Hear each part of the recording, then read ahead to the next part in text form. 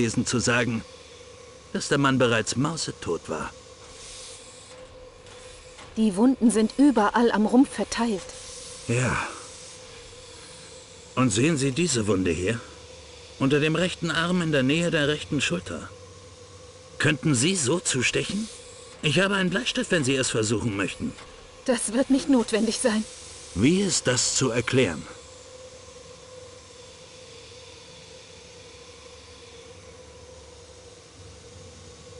Ein linkshändiger Mörder hätte dort leicht zustoßen können. Aber natürlich. Dieser Stich wurde mit ziemlicher Sicherheit mit der linken Hand geführt. Doch einige Stiche wurden ebenso offensichtlich mit der rechten Hand geführt. Hat sich Ratchet im Todeskampf gewunden? Im Gegenteil. Er lag völlig ruhig da. Die Bettlaken sind noch ganz glatt. Der Mörder hatte ungewöhnlich lange Arme. Bitte. Verirren wir uns nicht ins Reich von Edgar Allan Poe mit seinen mörderischen Affen, die junge Mädchen in Schornsteine hineinstopfen. Ich verstehe etwas von Menschenaffen. Sie erschlagen oder zerquetschen ihre Opfer tödlich. Aber sie führen keine Messer. Erzählen Sie mir etwas über die Kraft der Hiebe. Einige erforderten große Kraft, denn das Messer ist durch Knochen und Muskeln gedrungen. Andere wiederum scheinen willkürlich zu sein und sind abgeglitten, ohne großen Schaden anzurichten. Vielleicht jemand, der mit geschlossenen Augen zustach, in blinder Raserei. Und der so oft mit geschlossenen Augen zustach, um sich zu vergewissern, dass er das eine oder andere lebensnotwendige Organ traf? Könnte es zwei Mörder gegeben haben? Vielleicht. Einige Stiche können nur von einem starken Mann oder einer sehr athletischen Frau geführt worden sein. Andere wiederum sind nur oberflächlich. Vielleicht eine zerbrechliche Frau. Vielleicht war der Mörder zuerst unsicher, wurde dann aber von seinem Blutrausch übermannt. Oder vielleicht wurde der Mörder durch die Anstrengung müde. Schwächer. Aber er genoss es so sehr, dass er nicht aufhören wollte. Können Sie mir in etwa die Todeszeit sagen? Nicht so einfach unter den Umständen. Das offene Fenster, die Kälte, dadurch lässt sie sich nicht so genau bestimmen. Aber ich glaube, ich kann mit Sicherheit sagen, dass der Tod zwischen Mitternacht und 2 Uhr morgens eintrat. Das wäre vorläufig alles, Doktor.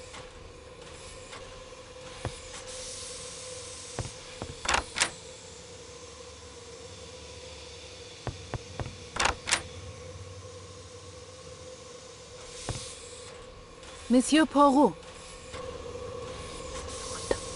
Ist er von hinten an der anderen Seite und hinten. Und das ist alles, was ich bisher herausgefunden habe. Wir machen Fortschritte, Mademoiselle. Mal sehen, was wir noch alles erfahren können. Die Wunden lassen keine genauen Schlüsse zu. Ui, die Aufklärung geht ja wunderbar voran. Der Mörder war ein kräftiger Mann. Er war schwach. Es war eine Frau. Es war eine rechtshändige Person. Es war eine linkshändige Person. Ah, c'est rigolo. Tout ça. Und das Opfer? Was tut er bei all dem? Schreit er auf? Leistet er Widerstand? Wehrt er sich? Nein, er geht seinem Schicksal mit größter Gelassenheit entgegen. Die Streichholzschachtel deutet darauf hin, dass das runde Streichholz Monsieur Ratchet gehörte. Ich pflichte Ihnen bei. Der Pfeifenreiniger und das Taschentuch sind gute Hinweise. Vielleicht. Was können wir daraus lernen? Erinnern Sie sich an die Flasche, die ich im Koffer fand? Ja, ein Schlafmittel. Und die Flasche war halb leer. Es wäre aufschlussreich zu wissen, ob Ratchet gestern Abend seine übliche Dosis einnahm. Die Pistole wurde nicht abgefeuert. Er hätte sich sicher verteidigt, wenn er dazu in der Lage gewesen wäre. Es wäre vielleicht besser, wenn Sie die Pistole vorläufig zu Ihrem Schutz behalten. Ich möchte nicht, dass unsere Zusammenarbeit vorzeitig beendet wird. Die stehen gebliebene Uhr verrät uns die genaue Todeszeit. Sehr praktisch, diese stehen gebliebene Uhr. 1 Uhr 15. Innerhalb der von Dr. Konstantin geschätzten Zeit zwischen Mitternacht und 2 Uhr. Was Sie sagen, ist wahr. Ist das Gebiss wichtig? Nur für denjenigen, der es tragen muss. Warum Sie das Gebiss des Toten mitgenommen haben, möchte ich gar nicht fragen. Hoffentlich leistet es Ihnen ebenso nützliche Dienste wie ihm. Die kleine Metallstatue. Sie ist sehr alt. Und womöglich sehr kostbar. Nehmen Sie sie mit. Versuchen Sie, mehr darüber zu erfahren. Die Fußabdrücke draußen am Fenster sind wichtig. Was verraten Sie ihnen? Der Mörder könnte aus dem Zug geflohen sein. Und wohin ging er? Trotzdem, Sie müssen untersucht werden. Auf dem Etikett seines Huts stand Off. Punkt 1318. Eine merkwürdige Beschriftung für einen Hut. Ich fand nur die Zigarre im Aschenbecher, keine Pfeife. Das weist auf einen Mann hin.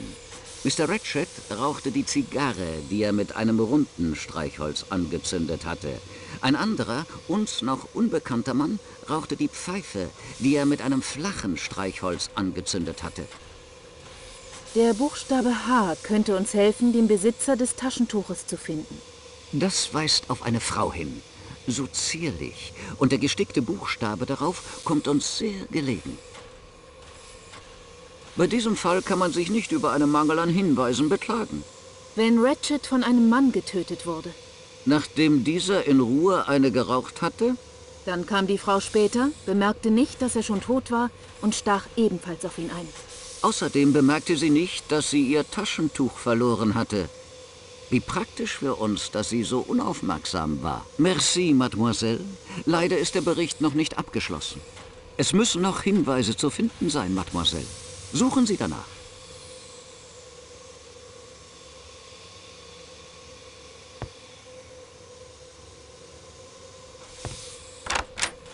Jetzt darf ich mich nicht verlaufen. Ich muss mich darauf konzentrieren, den Tatort zu untersuchen und mich dann bei Poirot melden. Jetzt darf ich...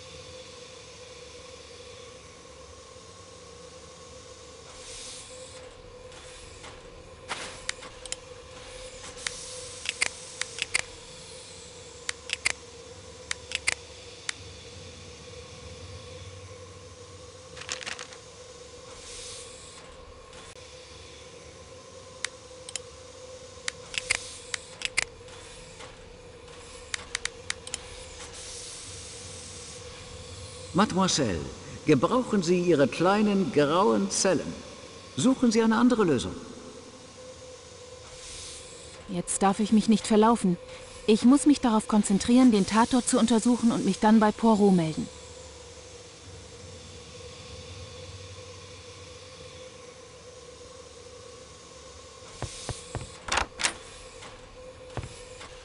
Doktor, Ja, Mademoiselle Massot. Ich werde Monsieur Poirot von meinen Fortschritten unterrichten. Sorgen Sie bitte dafür, dass der Tatort unverändert bleibt. Aber natürlich. Ich werde wachsam bleiben. Danke. Monsieur Poirot,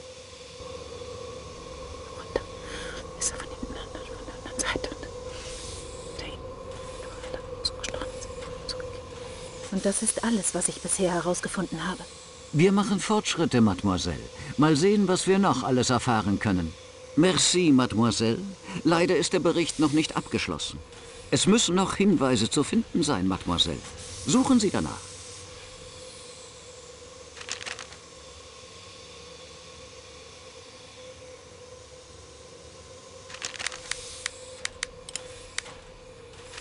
Das bekomme ich nicht auseinander.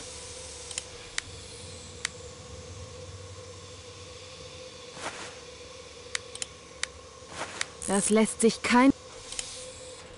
Setzen Sie die Ermittlung fort und scheuen Sie sich nicht davor, Indizien, die Sie bereits entdeckt haben, zu überdenken. Jetzt darf ich mich nicht verlaufen. Ich muss mich darauf konzentrieren, den Tatort zu untersuchen und mich dann bei Poirot melden. Ich glaube, im Moment werde ich woanders gebraucht. Da ist nichts weiter zu sehen.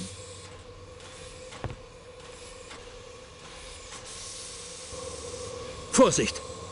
Womöglich gibt es Fingerabdrücke.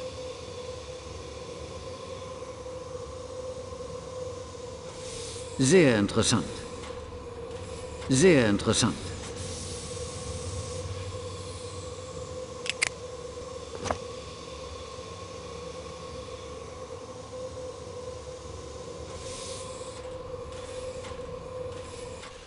Doktor?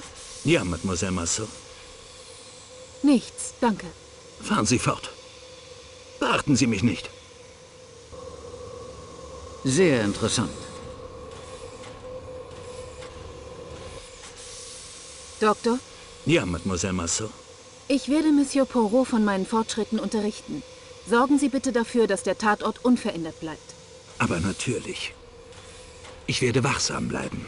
Danke. Monsieur Poirot, Und ist von hinten an der, anderen Seite das ist alles, was ich bisher herausgefunden habe. Wir machen Fortschritte, Mademoiselle. Mal sehen, was wir noch alles erfahren können. Merci, Mademoiselle. Leider ist der Bericht noch nicht abgeschlossen. Es müssen noch Hinweise zu finden sein, Mademoiselle. Suchen Sie danach.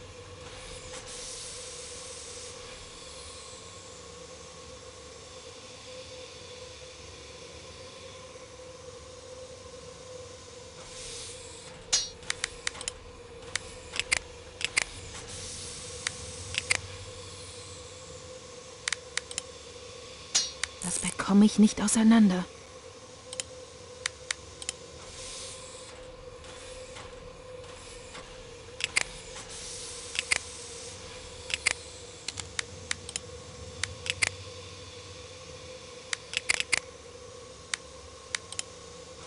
Das lässt sich kein Stück bewegen. Setzen Sie dir...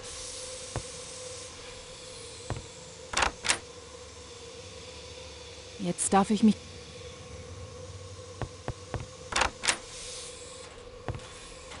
Ich dachte, Sie hätten von der Leiche genug gesehen.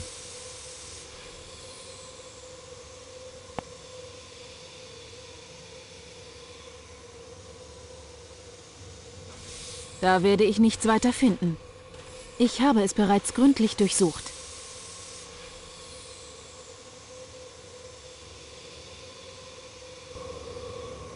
Vorsicht! Womöglich gibt es Fingerabdrücke.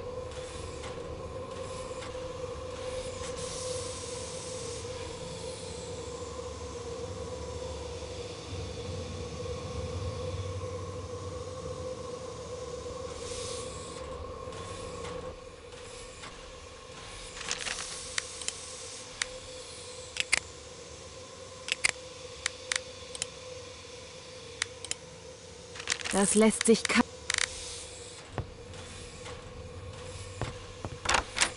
Jetzt darf ich mich nicht verlaufen. Ich Setzen Sie die Ermittlung fort und scheuen Sie sich nicht davor, Indizien, die Sie bereits entdeckt haben, zu überdenken. Mademoiselle, gebrauchen Sie Ihre Kla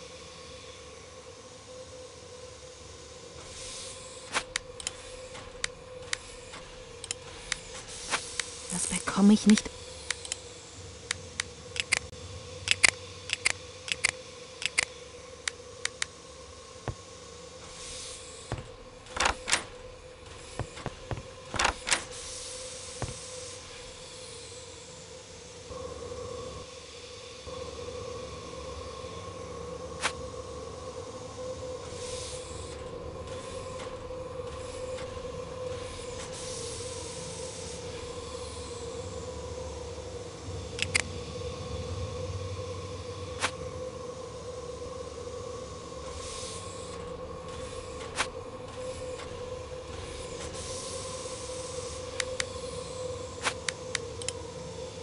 Manches lässt sich eben.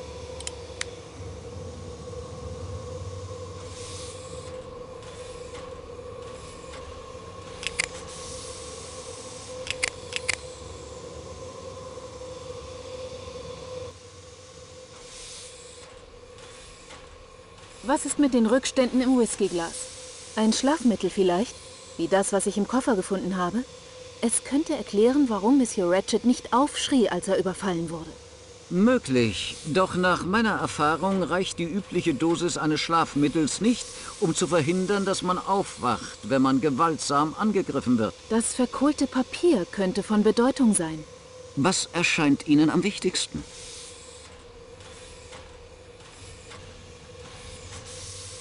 Was wurde verbrannt und warum? Präzisément. Aber auf dem Papier lässt sich unmöglich etwas erkennen. Möglicherweise können Spuren von Buchstaben wieder erkennbar gemacht werden, wenn das verkohlte Papier geschützt, geglättet und festgehalten wird, während man es erhitzt. Ich bräuchte etwas, womit wir das Papier vorsichtig halten können. Zwei Gegenstände aus Drahtgeflecht, zwischen die wir es legen können, und eine Hitzequelle. Suchen Sie diese Gegenstände zusammen, dann wollen wir sehen, was wir erkennen können.